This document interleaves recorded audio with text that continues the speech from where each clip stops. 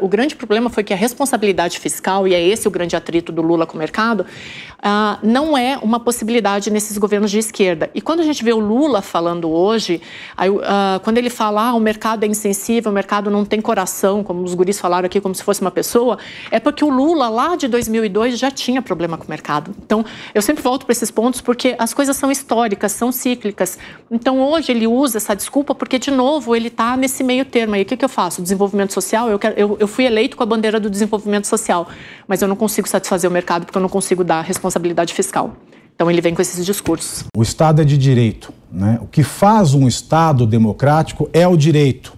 E não só a qualidade das leis, mas sim a sua aplicabilidade a todos do povo desse Estado, sem exceção.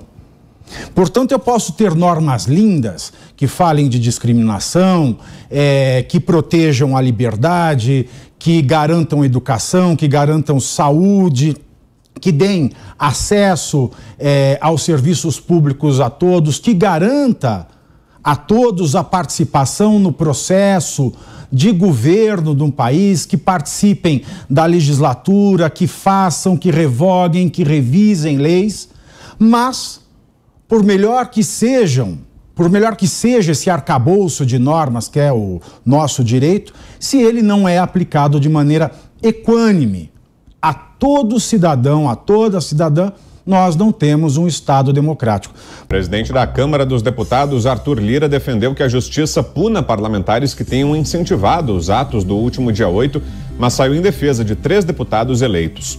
Lira disse que conversou com Nicolas Ferreira, Clarissa Tércio e André Fernandes e que não viu evidências até o momento contra os três.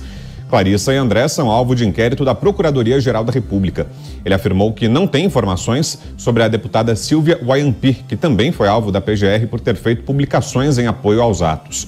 Por outro lado, Lira defendeu que haja punição no caso do deputado Abílio Brunini, que gravou um vídeo no Salão Verde da Câmara sobre os estragos causados pelas invasões. Todos, todos que tiverem responsabilidades vão responder. Inclusive parlamentares que andam difamando e mentindo com vídeos dizendo que praticamente houve inverdades nas agressões que a Câmara dos Deputados sofreu no seu prédio. Né? Então, esses deputados serão chamados à responsabilidade. A única coisa que eu quero colocar aqui, eu coloco realmente como é, na condição assumida de leigo, de cidadão comum. Eu só me lembro que outro dia foi determinado que é, no Brasil não é possível a prisão do réu, mesmo após uma condenação em segunda instância. Ou seja, mesmo após condenado duas vezes em duas instâncias da justiça, o réu no Brasil ainda não poderia ser preso. Pelo menos foi isso que eu entendi. Né? E até onde eu sei, eu posso estar mal informado, mas até onde eu sei, o ex-ministro que era secretário de Segurança, não foi condenado ainda, nem na primeira instância. Então, eu, é, com grande felicidade, deixo aos meus colegas juristas a tarefa de explicar isso. A partir de, de 1 de fevereiro, vem aí uma Câmara nova, um Senado renovado, em que centro-direita, pelo menos pela eleição do primeiro turno, de outubro, eh, tem aí um, em torno de dois terços, né?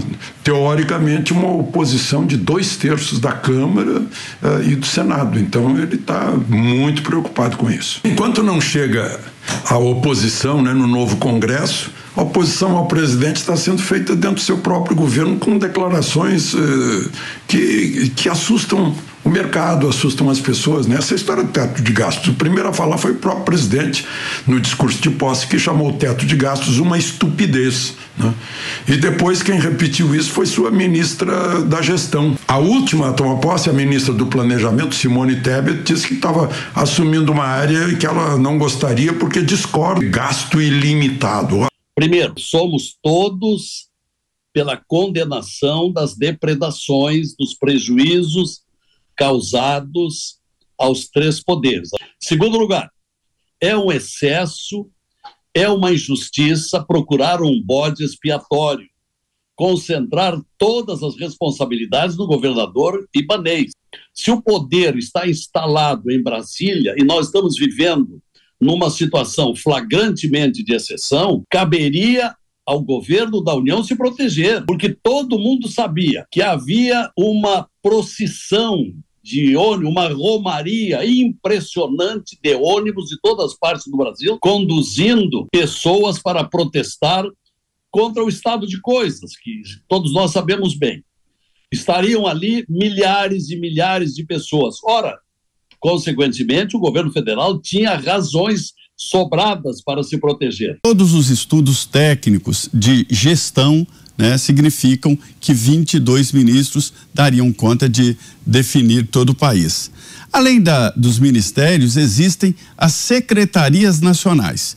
E a ideia do PT é de que é, uma secretaria não tem a mesma importância de um ministério. E aí o discurso para fora é de que é só colocar um nome de ministério numa secretaria. Só que não funciona assim o cargo de ministro, ele muda completamente a estrutura e a estatura da pasta. O ministro, por exemplo, ganha foro privilegiado no Supremo Tribunal Federal. O ministro pode requisitar a aeronave na FAB. O ministro tem prerrogativas de assessores que o secretário nacional, embora seja um cargo importante, não tem. Então muda completamente. São configurações da própria gestão pública massa atrás de, de segurança foi para os quartéis. Eu não participei desse movimento. Eu me recolhi. Eu acreditava e acredito ainda que fez a coisa certa de não falar sobre o assunto para não tumultuar mais ainda. Que a imprensa sempre ávida para pegar uma palavra errada minha, né, uma frase fora de contexto, para criticar.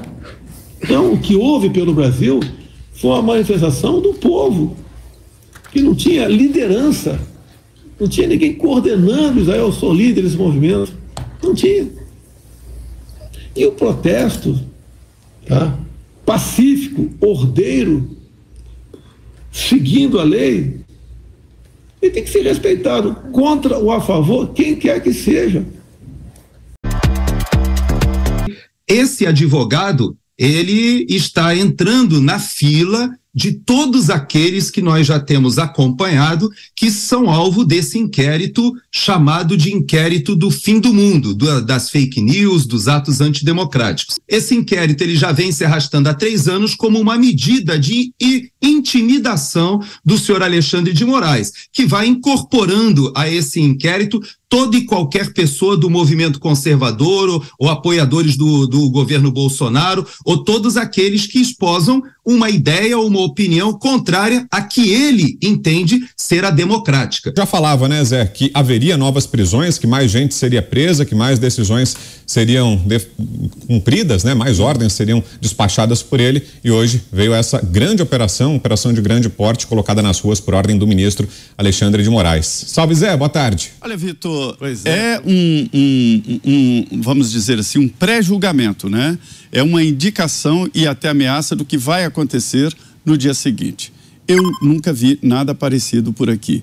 Antes, os tribunais superiores agiam politicamente, a gente sabe, sempre soube são indicados politicamente e agiam politicamente. O que está acontecendo agora que assusta é que está muito explícito, está muito é, é, é, absurdo, né? O, o, o, as decisões, as ações dos tribunais estão abertas demais como decisões políticas. E aí, numa canetada, é, o ministro Gilmar Mendes é, simplesmente tira do teto o Auxílio Brasil, ou Bolsa Família, como queira chamar, em algo que está sendo debatido com responsabilidade aqui dentro. É um desrespeito completo a, a um dos poderes da República e isso precisa ter um fim. É, eu digo para você, viu? É, só Deus sabe as articulações, né? O comentário aqui dentro realmente são poucos parlamentares que estão fisicamente aqui, presencialmente em Brasília. E isso precisa ser aprofundado o debate. Né? Por isso, é importante que estejamos todos em Brasília, tem alguns colegas vindo para cá de forma emergencial, porque o que aconteceu nessas duas decisões foi realmente algo que mostra que o, o Supremo Tribunal Federal ultrapassou todos os limites do razoável. A primeira providência é o Lula parar de falar em questões econômicas, porque ele está puxando do fundo né, de sua consciência as velhas ideias arcaicas do PT. Por exemplo, essa coisa que muitos dizem que gasto é investimento e, portanto, não precisa ser controlado, isso é uma estupidez completa. Não é? O gasto é gasto em qualquer situação. Não precisa de rótulo A, rótulo B. E controlar o gasto tem a ver com a estabilidade fiscal. E a estabilidade fiscal é fundamental para preservar a estabilidade macroeconômica. E a estabilidade macroeconômica é essencial para manter a inflação sob controle, porque a inflação fora do controle prejudica essencialmente os pobres, que não têm como se defender